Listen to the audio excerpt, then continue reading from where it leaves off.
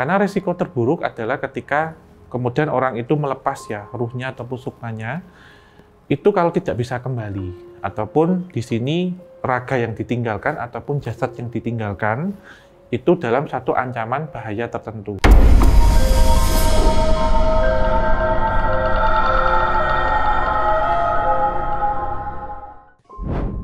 Astral projection atau orang Jawa atau dalam uh, bahasa Jawa disebut dengan ngerogo sukmo.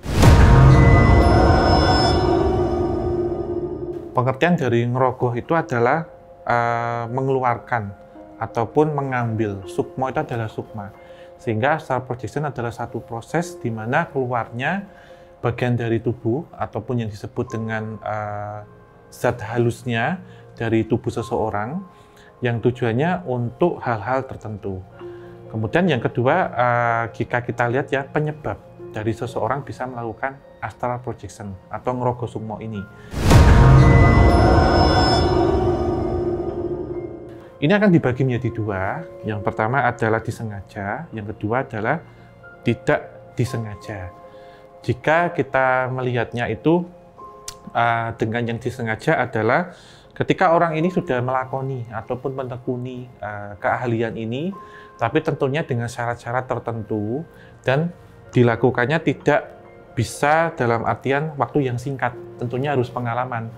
Karena dalam melakukannya dengan tujuan seperti halnya orang-orang dahulu adalah untuk berkomunikasi atau bisa disebut dengan uh, telepati ya di sini, yang kemudian adalah berpindah dalam satu tempat ke tempat yang lain yang tidak terikat oleh ruang dan waktu atau disebut dengan teleportasi.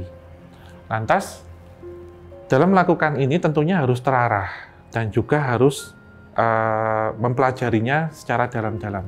Karena risiko terburuk adalah ketika kemudian orang itu melepas ya ruhnya ataupun sukmanya, itu kalau tidak bisa kembali ataupun di sini raga yang ditinggalkan ataupun jasad yang ditinggalkan itu dalam satu ancaman bahaya tertentu. Sebagai studi kasus bisa kita lihat jika di era-era lampau ataupun di era-era kerajaan pada zaman uh, lalu ya, para leluhur kita menggunakan kemampuan astral projection ini seperti halnya untuk mengintai lawan ataupun untuk berkomunikasi dengan uh, pihak uh, prajurit ataupun pihak punggawa yang ada di tempat yang jauh. Seperti halnya belum kita ketahui alat-alat uh, telekomunikasi yang memadai seperti saat ini ataupun hari ini.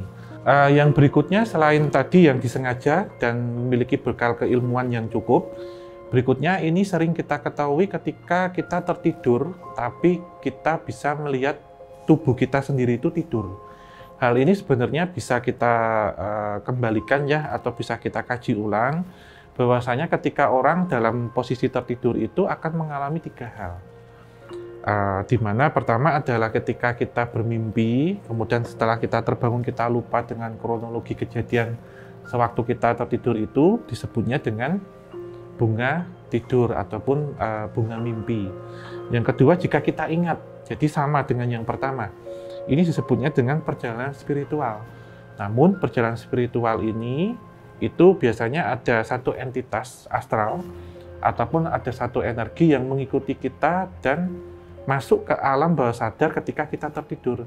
Sehingga saat kita bermimpi dan saat kita terbangun, itu bisa menceritakan detail kronologi dan kejadian ini dengan seksama dan juga dengan akurat. Bahkan seperti halnya kita mengalami ini.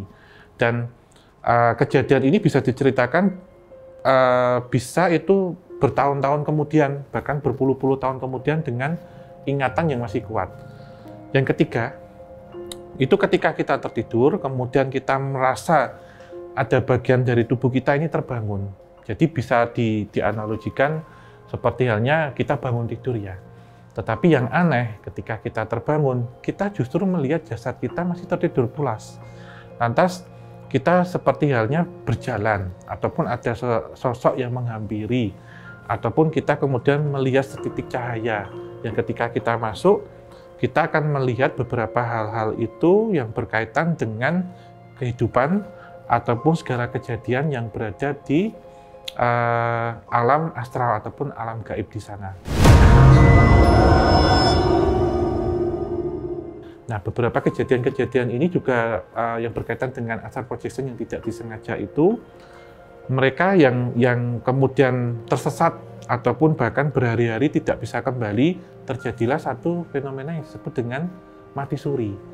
Sehingga beberapa orang yang yang secara tidak sengaja uh, cakra ataupun kebatinan ataupun mata batinnya aktif itu bisa melakukan astral projection yang tidak sesuai dengan keinginan mereka. Jadi berbeda dengan yang pertama, ketika memang sengaja dipelajari ataupun memiliki bekal ilmu kebatinan yang sudah mumpuni, astral projection ini bisa dikendalikan.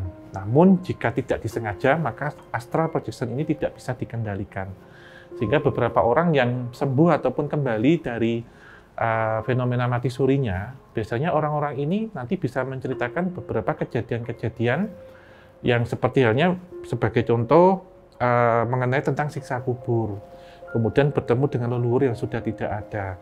Ada juga yang sudah dinyatakan meninggal atau disebut dengan mati suri, kemudian bisa kembali lagi jantungnya berdetak kemari dan saat itu kemudian orang ini memiliki ataupun upgrade satu kemampuan metafisika ataupun supranatural yang menjadi bekal untuk melakukan astral projection yang terkendali.